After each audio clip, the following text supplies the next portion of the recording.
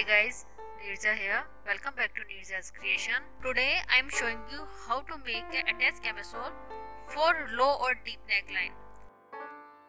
So let's start. Measurement the deepness of neckline. Take another top which have a perfect neckline according to you. Measurement the deepness of neckline.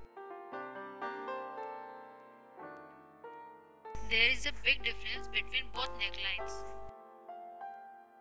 This is a cotton lace. I select black one because my top have black prints.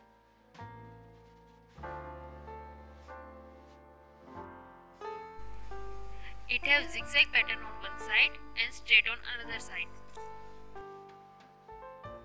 Turn the top inside out.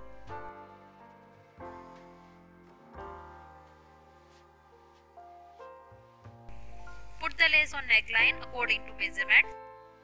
Confirm that the both sides have same length.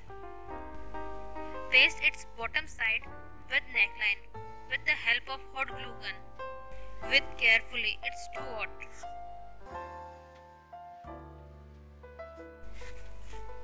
Now paste the lace with both sides.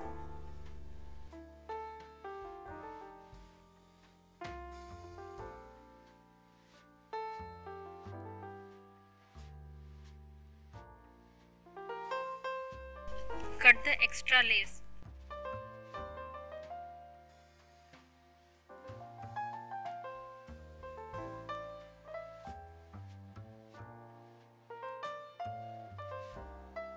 Turn the top inside out. Now it's ready to wear. I like it most. Hope you like the video. Do subscribe my channel, like and leave a comment. Bye for now.